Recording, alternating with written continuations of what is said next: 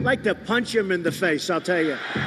Knock the crap out of him, would you? Seriously. Okay? Just knock the hell. I promise you, I will pay for the legal fees. 26 year old Rakeem Jones was punched in the face as he was escorted out of Donald Trump's rally last night. Yes, he deserved it. The next time we see him, we might have to kill him. Very fine people on both sides. Get the fuck out of here! You will not replace us!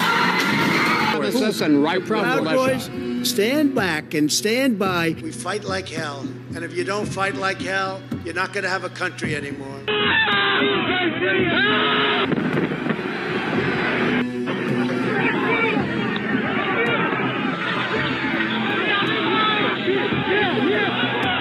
Multiple Capitol injuries! Multiple Capitol injuries!